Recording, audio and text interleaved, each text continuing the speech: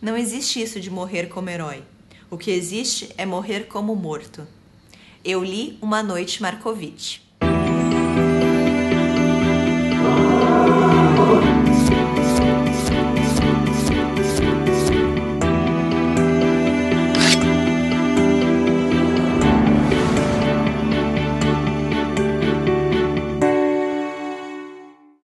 O livro Uma Noite Markovitch foi escrito por Ayelet Gondar Goshen e publicado no ano de 2012 em Israel. Conta a história do Yakov Markovitch, um europeu que pouco antes da Segunda Guerra e do Holocausto migra para Israel, na época Palestina Britânica. Naquele momento ainda era possível fugir, escapar do nazismo. Mas a partir daí as coisas vão ficando cada vez mais complicadas, as fronteiras vão realmente se fechando. Antes do auge da perseguição, os judeus encontram uma última brecha. Se uma mulher da Polônia ou da Alemanha se casar com alguém da Palestina, ela pode deixar o país imediatamente, sem maiores complicações. E é por causa disso que muitos casamentos falsos são arranjados. Os homens que já vivem na Palestina vão até a Europa, se casam com alguma mulher, depois retornam com ela para a Palestina e aí concedem o divórcio. São casamentos às cegas arranjados pelas autoridades com o único intuito de salvar a vida dessas mulheres. E o protagonista dessa obra, o Yakov Markovitch, vai ter um desses casamentos falsos. Só que o caso dele vai ter uma particularidade. Já na Palestina, ele vai se recusar a assinar os papéis da separação. Isso porque ele se casou com a mulher mais bonita que ele já viu e ele acabou se apaixonando perdidamente. Ele vai preferir manter ela ao seu lado, mesmo que à força, do que permitir que ela desapareça para sempre. Então esse livro possui esse contexto histórico, né, absolutamente complexo. Vai falar sobre a perseguição aos judeus, a Segunda Guerra, a formação do Estado de Israel. Lembrando, Israel afirma sua independência em 1948, então ainda é um país muito jovem. E mesmo com todos esses acontecimentos grandiosos, a autora vai preferir manter o seu foco nas pessoas comuns. Não os personagens que se esforçam em escrever o seu nome com tintas heróicas, né, como nos diz o narrador, mas sim as pessoas que rasgam furtivamente um cantinho nas folhas da história. São seus medos, traumas, desejos, as suas dúvidas que movimentam essa narrativa.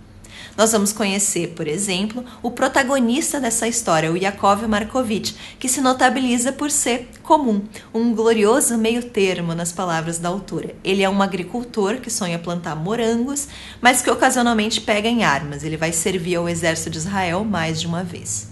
Nós vamos ser apresentados também a Raquel, uma mulher que assim que pisa na Palestina deixa de falar alemão, porque o esquecimento da língua é uma tentativa dela de esquecer o horror europeu, de cortar vínculos com seu passado.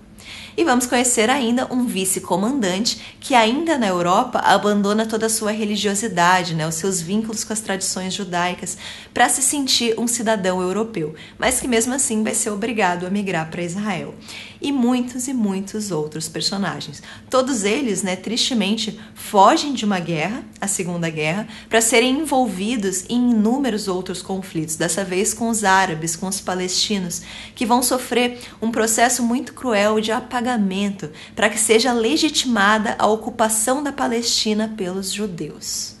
Um outro ponto curioso dessa leitura que eu queria contar para vocês é a inserção de certos elementos de realismo mágico.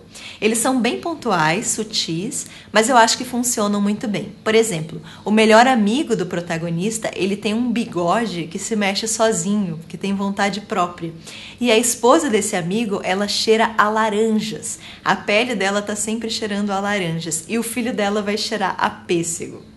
Eu gosto muito desses elementos mais fantásticos porque eu acho que eles trazem uma cor à narrativa. Esse é um livro não tão curto, ele tem quase 400 páginas, mas que eu li muito rápido, justamente porque a leitura é fácil, fluida, muito gostosa de ser feita.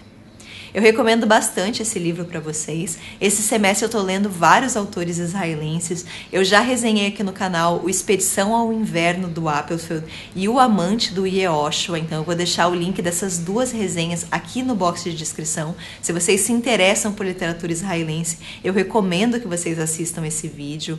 Algo legal desse livro, né, do Uma Noite Markovitch, é que ele é o livro de estreia de uma autora mulher contemporânea.